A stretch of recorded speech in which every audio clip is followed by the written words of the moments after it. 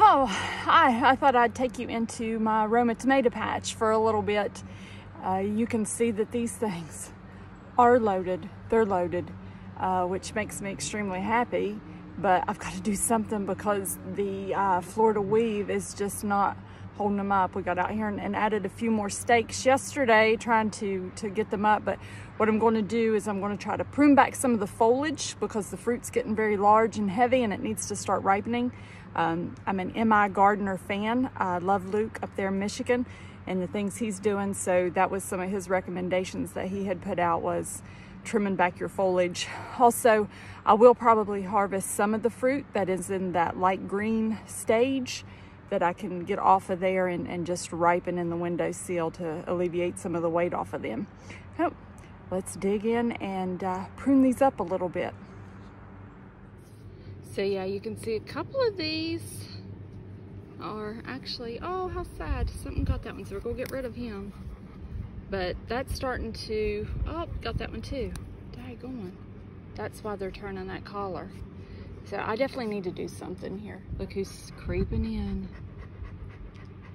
What are you doing, Fonzie? that is my gardening buddy for sure.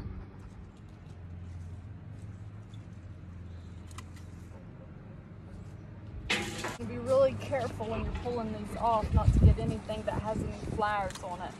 But um, you can go up quite a little piece there before you hit that area. And this is going to allow some of that airflow to get in, especially as we're kind of getting into this later part of summer when tend to get a lot more dampness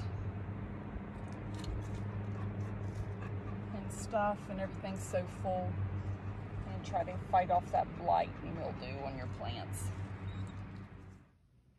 Okay, so what I've been doing is just kind of taking off all of this bottom foliage down through there.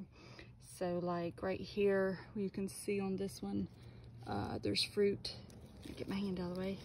Fruit coming off of here. And then that one right there, fruit comes off of that.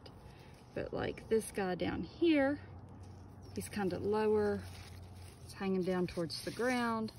There's no immediate fruit on him, so I'm just gonna go in. I'm gonna try to cut the sucker too, if you see that little sucker growing right out there too.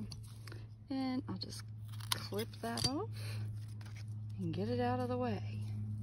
And so more of like just all these lower ones really that don't have much going on. So I don't want to trim that one because I can see fruit coming off of it. So I'll probably trim this one right here though, off of that other line and let some air in. But it's really helped them all. Look through here. You can see the ones that I've done. I mean, they're just loaded with fruits. And now the sun can get in there to ripen those up. And uh, soon it will be sauce time. And I am pretty happy with how the uh, Roma tomatoes have turned out. So what you need to do is get you one of these uh, Gardener Girl manicures here. And you feel wonderful when you have one of those, I think. Something about the dirt makes you feel good. All right. Tomatoes